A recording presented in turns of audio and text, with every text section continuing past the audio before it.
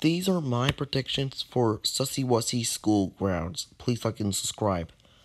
This is Goofo AO. He's the class. He used to be the class clown, but now he's all every single troll face meme combined to one monster.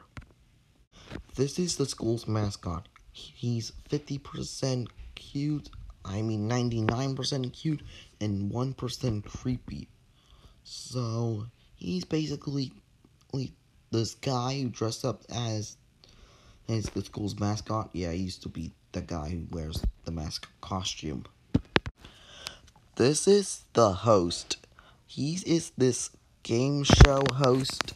Well, you have to answer her three of his riddles. If you get them all wrong, wrong, he tries to kill you, and you find a flamethrower and burn him, and tr trying to find a way out of the school. So yeah, that's my predictions for Sussy Wussy School Grounds Chapter 3.